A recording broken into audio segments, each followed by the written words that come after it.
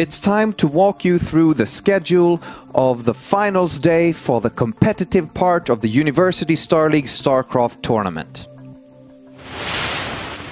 About 70 players signed up for the competitive part in StarCraft, and we have eight of them going into the quarterfinals starting this broadcast.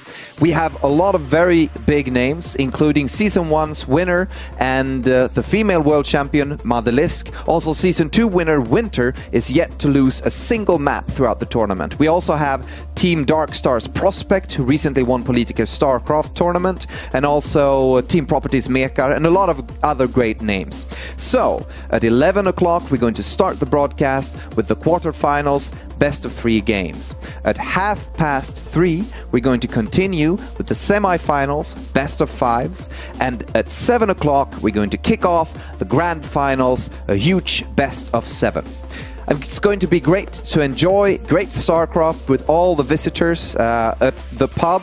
I'm going to remind you that the pub is open, so if you're watching from home, come join us in Kista. And I want to wish all of the players good luck in the tournament.